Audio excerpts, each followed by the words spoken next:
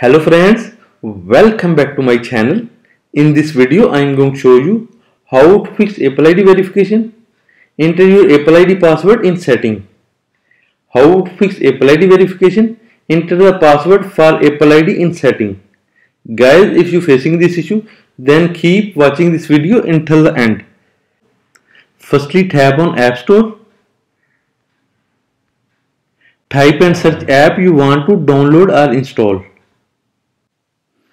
iPhone say Apple ID verification. iPhone say Apple ID verification. Enter your Apple ID and password.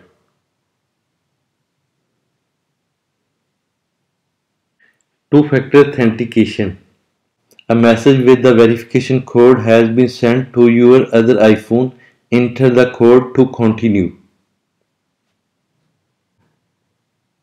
If you have other iPhone signed in with same Apple ID, then enter your verification code. If you did not receive the code on other iPhone, tap on don't get a verification code.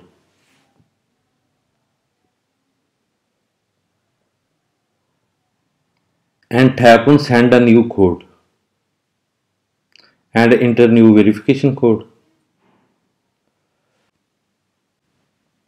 If you don't have another iPhone, then tap on don't get a verification code. Then tap on text code to your number.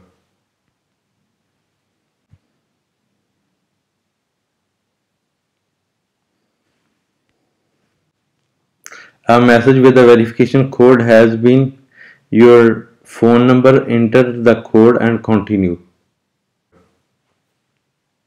Enter a verification code, you get your phone number.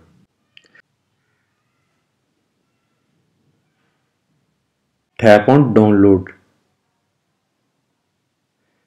Guys if this video helpful for you like share and subscribe this channel